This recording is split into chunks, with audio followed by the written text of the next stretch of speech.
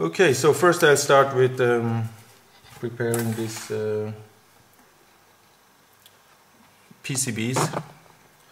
To do so I use um, a technique that is you could call a DIY um, reflow soldering technique.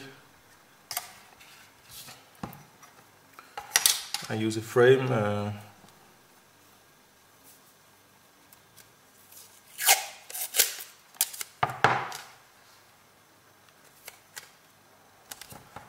fix the frame to the table.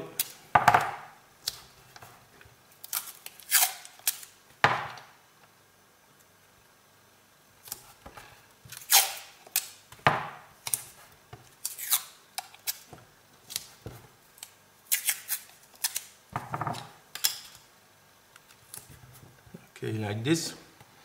And now I've got to put uh, the solder paste. This is actually lead-free solder paste. Um, to put this on, uh, you can either use uh, like the classic stainless steel um, stencils. I made one for the bigger PCB, but actually you can also use a laser cut um, transparent. This works perfectly as well. I prepared one for the smaller PCB, so I'm gonna try this right now.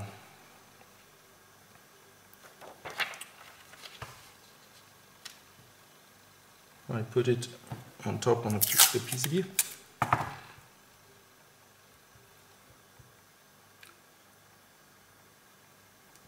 Check the correct position. Now I'll take some solder paste.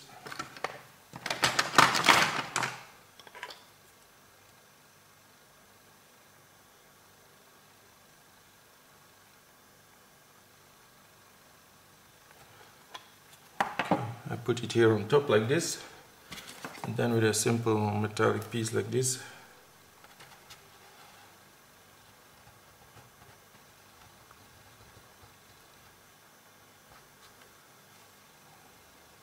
This is the trick. So now I carefully take off the stencil and that's the result. You can see now there is solder paste on all the pads. I'll do this again for a second one since uh, we need two antenna. So I need two of these um, PCBs.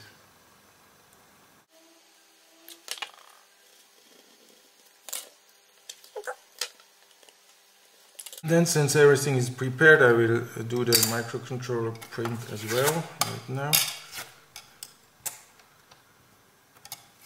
Good thing about this modular setup is that you can build like one microcontroller board and then add um, different types of resonator to test different setups or a good thing is also um, to if you want to have a it's best to have a small PCB because this is does cost you less and if you want to have a big distance from the two antennas which makes it easier to play then you can just put a long cable in between the two um, receivers and still you have a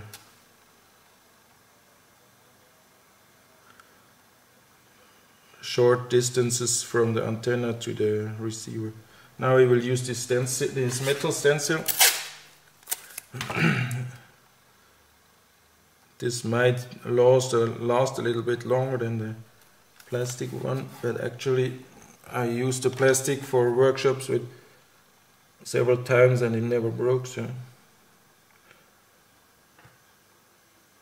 it's not really worth um, paying a lot for this uh, steel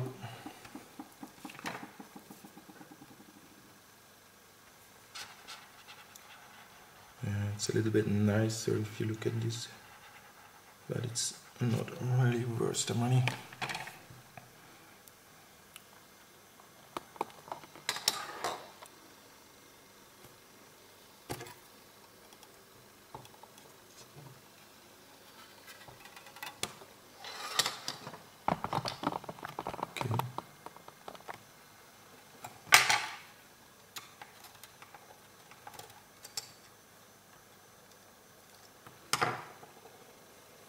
you can see I put a little Mr.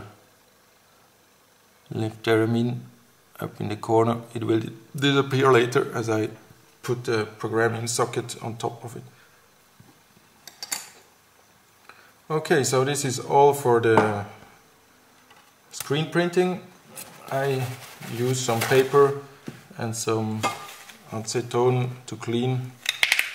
With this it's really easy to clean it the next